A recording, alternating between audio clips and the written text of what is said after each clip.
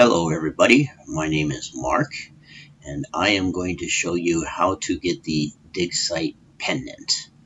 So hope you enjoy the video. Now first thing that you have to do is you have to complete a quest and the name of the quest is this one right here. It's called the dig site. I'm not going to talk about how to complete this quest. There's already videos out there on how to do that.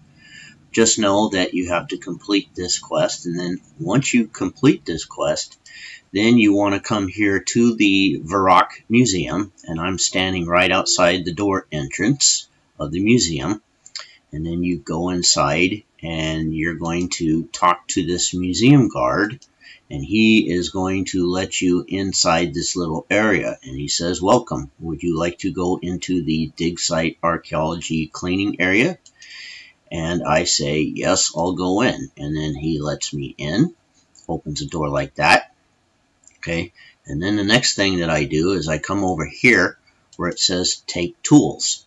And I am going to take one of each of those tools. You can see there's five different tools. There's a trowel, a rock pick, a speci specimen brush, leather gloves, leather boots. So I'm going to take one of each.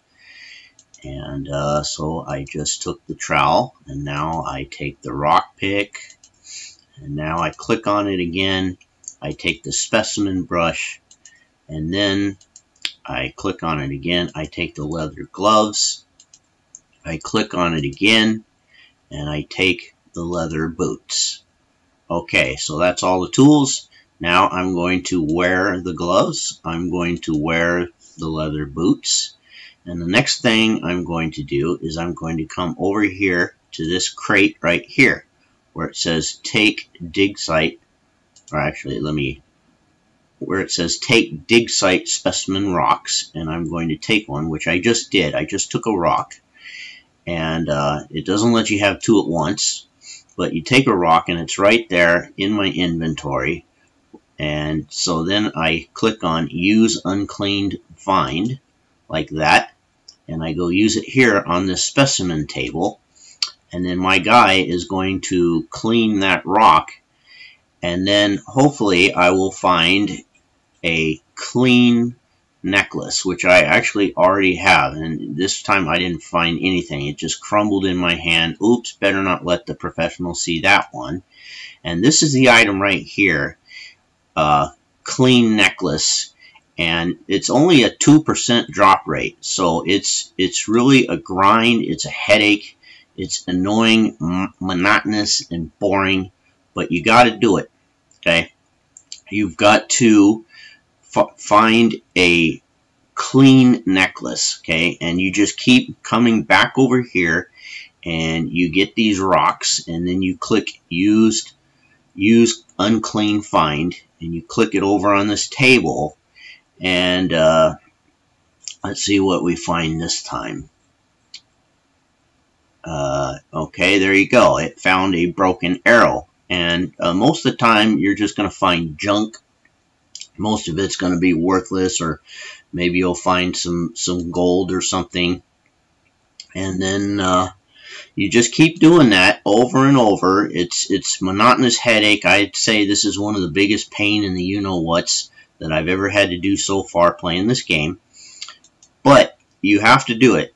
Many things in life are a grind, and you just and you have to keep doing this over and over until you get this clean necklace. And FYI, it took me about an hour to get this clean necklace. This time I got arrowheads, but eventually you're going to get a clean necklace. And then once you get the clean necklace, then you click on use clean necklace and you're going to use it on these guys over here. And I don't think it matters which one you talk to. There's a guy Cinco Door or Tense Torp. And so you use the necklace on these guys over here click it like that and then my guy says take a look at this. I found this pretty necklace. And it says interesting yes it looks like it's enchanted. And then I say, with what? oh, I think it's a benign teleport spell I tinker in magic when I'm not doing archaeology. I can teach you how to make necklaces like this. Amazing that they had this knowledge back then. And then I say, that's good. Where does it teleport to? And, hmm, all the indications, blah, blah, blah, blah. I don't want to read all that. The archaeologist takes the necklace, turns it over, studies it closely, and there you go. It says, congratulations, you completed I dig this transport.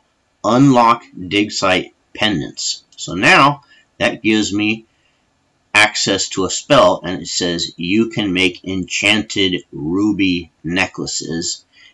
So I just make a ruby necklace and use five fire runes and one cosmic rune to enchant it. And that's the runes you need to cast the spell. And yes, indeed, thanks for helping us. And so now I've just unlocked the spell. And so I don't actually have the runes in my inventory. I probably should have put it in the inventory. But I will go uh, to the bank right now and I will get those runes and then we'll see what spell that I can cast. Okay, here I am at the bank and I got my runes my fire runes, my cosmic runes, and I got a ruby necklace. And so now I'm going to go ahead and I'm going to enchant that necklace right now. So there it is, level 3 enchant spell. And let's see what happens here. And uh, cast level 3 enchant ruby necklace, left click. And uh, click the enchant like that. And there you go right there. Now let's check my backpack. And there it is. There is your dig site pendant. And you can uh, rub the pendant and it acts as a teleport spell. And I can go to any one of those three spots right there. If I click it, I will teleport to the Varrock dig site, the Senntisten Temple, or the Exam Center, and uh, that's pretty much it. So that's it for this video.